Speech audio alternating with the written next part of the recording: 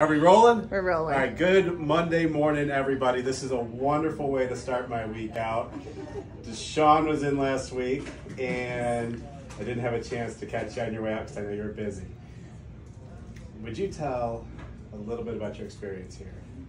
My experience, now that seems like a loaded question because from the moment I made a phone call to the day that I came in to even last week, like my full experience has been, um, it's been a pleasure. You know, it's been a, full transformation.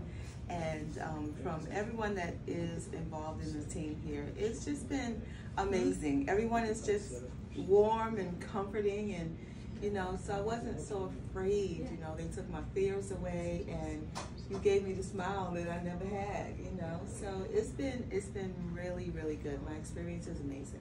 Yes. I love that. Yeah. I love it. And we we got a lot of good smiles, but your whole aura and everything just made my team so happy every time you came in because you're so sweet, gentle, peaceful. It was just such a pleasure.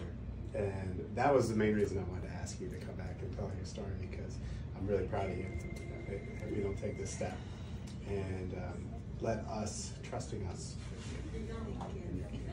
Thank you. Yeah. It is, I, I'm just really happy. Dr. Hogan, you've changed my life and the whole team. When I first came in and you probably saw a, a tear, you know, because I felt like I was in the right place and there was relief finally after years and years of, you know, just dental trauma and headaches and nightmares.